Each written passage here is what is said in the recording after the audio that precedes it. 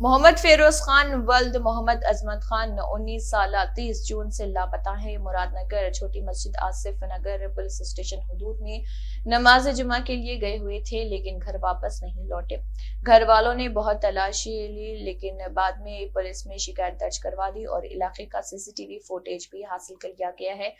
और गुजारिश की गई है कि अगर किसी हजरात को ये नज़र आ जाए तो contact number nine six seven six seven eight six eight nine seven या फिर double nine five nine zero seven और डबल सिक्स ज़ीरो वन या फिर nine three nine four seven six eight six three six पर inform करें।